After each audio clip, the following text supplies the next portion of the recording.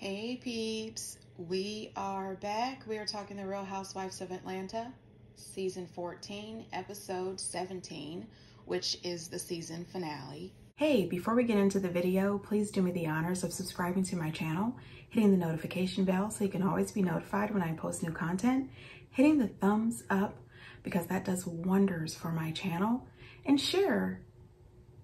Thanks. Before we get into the show, did anybody notice the new looks for the Real Housewives of Salt Lake City? I think this new cast photo is going to be beautiful. The ladies all look absolutely gorgeous, including the three friends of. Um, I did see the preview, you know, the trailer for the upcoming season of The Real Housewives of Salt Lake uh, City, and it didn't look that great. I mean, at the very end of the trailer, they had a few pop off moments, but it wasn't like the trailer for Beverly Hills or the trailer for Atlanta. So I don't know. It might just be a whole bunch of hype that turns out to be nothing. But either way, I will be there. I will be watching. I will be reviewing. So make sure that you join me for the Real Housewives of Salt Lake City. If you are not already a subscriber, Please make sure to subscribe and hit the thumbs up. Thank you so much. Also, speaking of cast photos, someone leaked in quotations the Real Housewives of Potomac's new cast photo. And again, it looks like we have the same exact cast. No new uh, ladies in the um, cast, but they all looked stunning. Red is definitely their color. I think they look gorgeous. So I'm excited about this upcoming season. Okay, so at the end of the show, we do see the countdown to being able to purchase items on She by Sheree's website. Now I'm going to go ahead and say this at the top of the review. I have been out on that website multiple times in the last 48 hours, and that site is not up and running. And the weird thing about it is, instead of it having the normal error that the site has crashed, there is a beautiful message telling people to please come back within 24 hours, which I have, um, and that the site crashed due to so much traffic. I think the site is down, in my opinion, because there is no merchandise. Um, good luck, Sheree. I hope you get your site up and running right away. So the show starts off with cuteness overload. We see Blaze in the back seat. She is humming a tune and clapping her hands, and her mommy is in the front cheering her right on. She's humming the same tune and clapping her hands too. I thought that was so cute. Blaze is a carbon copy of Kandi. They look identical to me. Blaze is adorable. Later in the episode, we get to see Brooklyn, and she is so adorable. She was helping her mommy pick out a dress for the fashion show, and she decided that she needs a new dress as well. And I think that is adorable. I love seeing Kenya with Brooklyn. So we start off with the best news. Kenya's products have come in.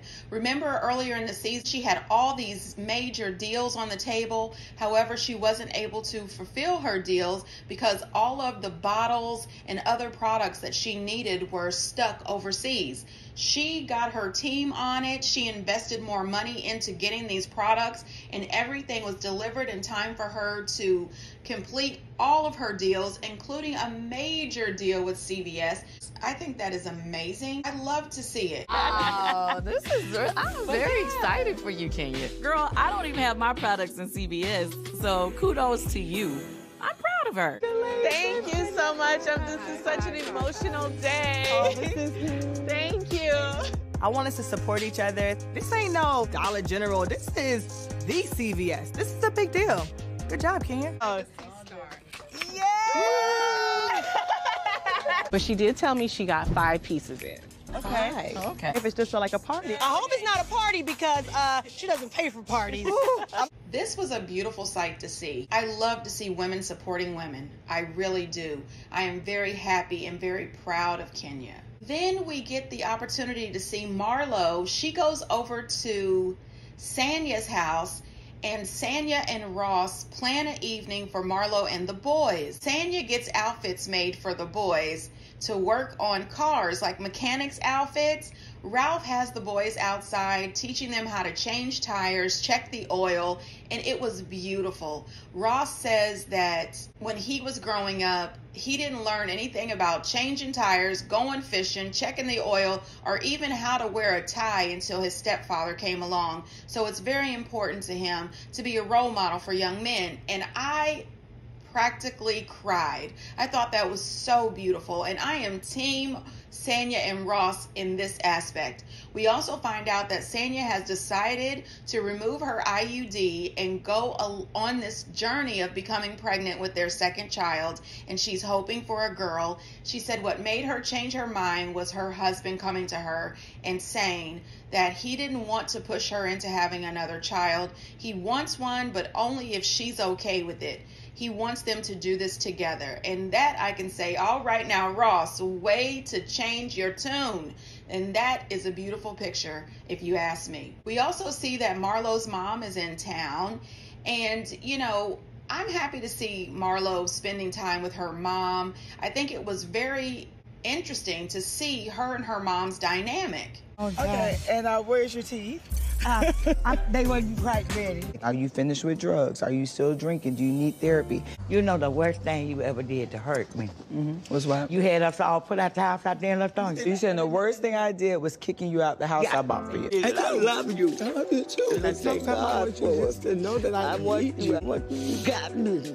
You been staying away. Stop staying away. Just now coming back around me for three days, and you saying, can you bring a man around? A man who's on drugs, a man who can't don't got a pop the piss in. You always worried about a man. I think that's why I don't have a man. You know what, Marlo, you are right down there in Atlanta with Dr. Heavenly. Take your mom right over to Smiles by Heavenly Kimes, and she will hook your mama up. I'm just saying.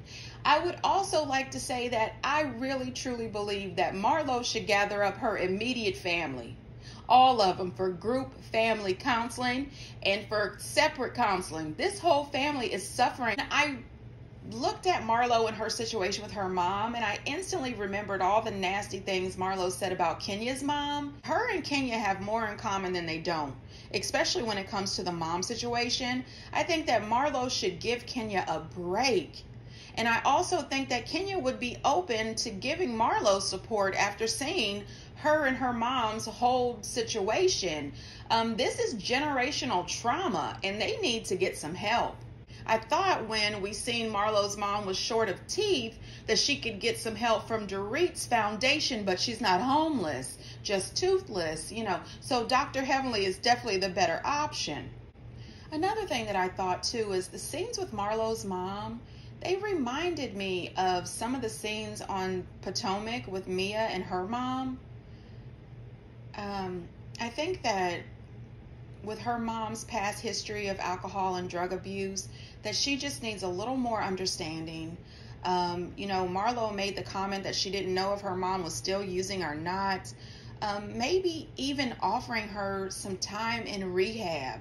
You know, they had that big blow up about Marlo's mom putting men before her, and that is major. I know a lot of children who have grown up to be adults who are suffering with the thought that at some point in their life their parent put a man or a woman before the children. And that is something that I can never get with. She wanted her mom to pick her first. I also thought it was interesting that she invited Kandi, after all of the mess they have been through to meet her mom. But I have a feeling that she wanted Kandi to meet her mom in the hopes that Kandi would understand her background and where she came from. Um, I thought it was nice seeing Marlo's mom. I love that they told each other multiple times that they were sorry and how much they loved each other. I am praying for her and her mom, and I'm wishing them the best. Now, to the very end, Sheree was struggling to get all of her pieces. You know, right before the show started, she finally got all of her pieces, a total of 27. When she first went to see the event space, she started off with five pieces and I'm with Kenya. Five pieces does not make a collection. I am sorry, not even on Project Runway. On Project Runway, they at least want you to have six to ten pieces. I'm just saying, and that's because they have other collections coming out as well, and they also have six to ten pieces, not just one designer. Now, Mama Joyce. I think with Riley being the child that was there before anybody, I think that's the child that you should put in the forefront. What about Ace and Blaze? I'm saying they have a father who will be in charge of the trust. Don Juan. I think Don Juan plus somebody else. Don Juan and me. You're killing me off early, I see. Am on the fence with Mama Joyce. Uh, I think that she is taking this dislike for Todd a little too far. Let it go, ma'am. They have been together for a very long time now. They have two children and multiple businesses. If anybody is after Kandi's money at this point, I think it might be Mama Joyce. Um, I think that her saying that Kandi should have one trust only on Riley because Ace and Blaze have a father, I think that's too much. I think that's just too much. You know what I mean? I would have everything actually in one big trust and it would all be labeled out equally. I would split everything equally with my three kids. I am not about to put Ace and Blaze on the side because they have a father.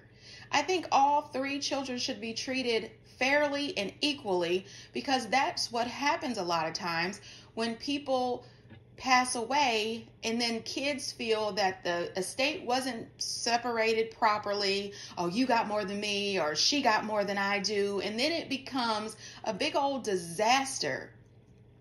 Her mama asking to be put on as an executor next to don juan.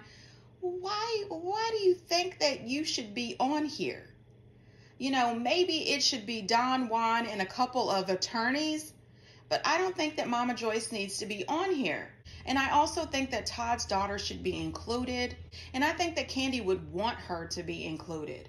With all the money that Kandi and Todd have separately and together, there's definitely enough to go around for all four of these children. This is just my opinion. We all have opinions. So you guys get down in the comments and tell me what I got wrong. Do you feel differently? Do you think that Mama Joyce was right? Get down in the comments and let me know. This is this wonderful person that was given a fashion show with no fashions. How dreadful. Tyrone. No remorse, no apology, no nothing. and you let me sit I there. apologize. I was humiliated. Definitely don't owe you an apology. It's his way of apologizing by bringing some roses. I mean, it looked like he got them from the grocery store. You heard about Tyrone? Prison Bae. Oh, I brought you some flowers. Thank You. so proud of you. Thank The you. crowd- Anybody needs to be here. Oh, of it is the course. white man. Fashion show with no fashion.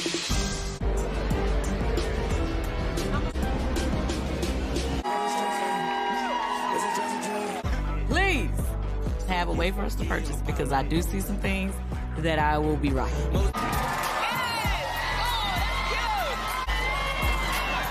Fills out those joggers real nice. I want to give him a round of applause and my number. I'm leaving. Goodbye.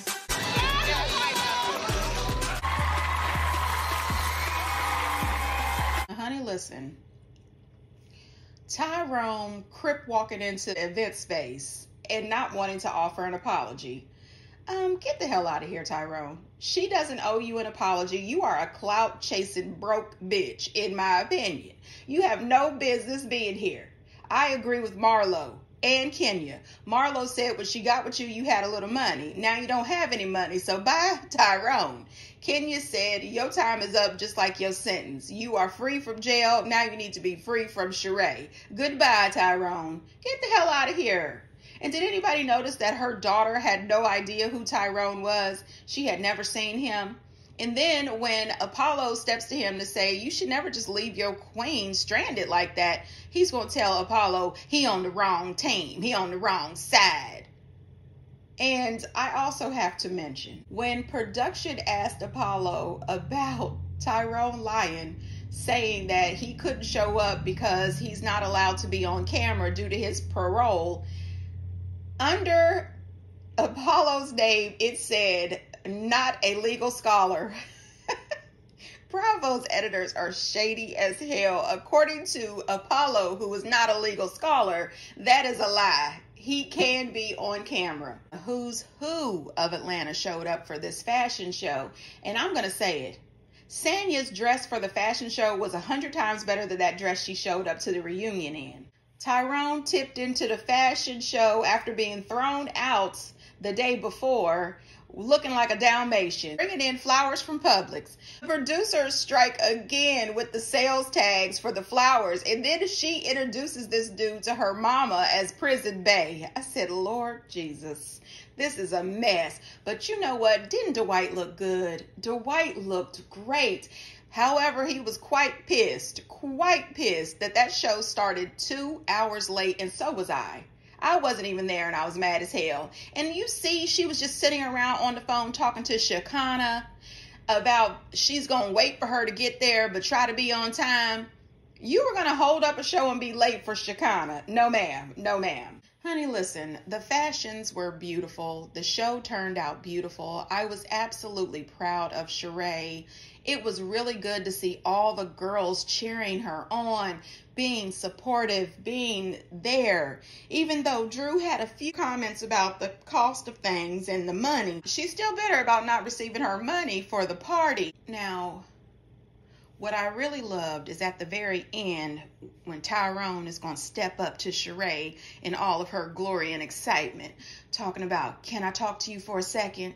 She said, Nope, mm-mm. I said, All right now, bye, Tyrone. Bye, honey. Call somebody. We don't want to be bothered. Now, another thing that happened, because you know the internet is savage, okay?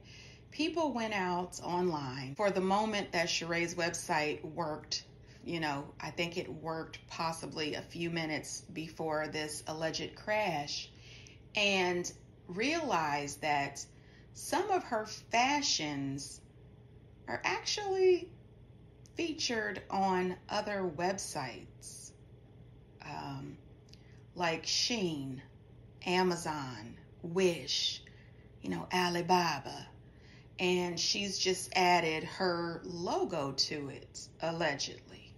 Um, listen, she told Andy all that time ago that she would have joggers out by September, and here it is September.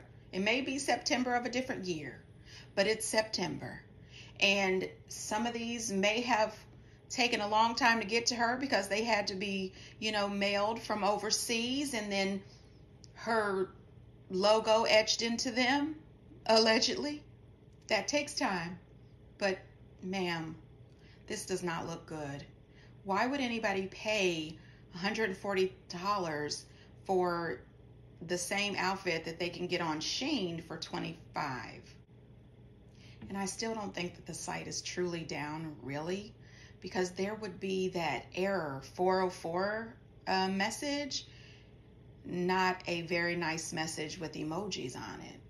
I don't know, you guys anyway, I'm really excited for Sheree. I hope that she's able to get her website up and running, and I hope that she is able to maybe explain why it seems that these are other people's designs that she has just put her logo on.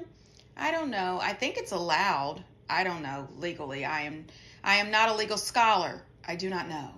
Anyway, you guys, get down in the comments and let me know what you think. And until next time, bye.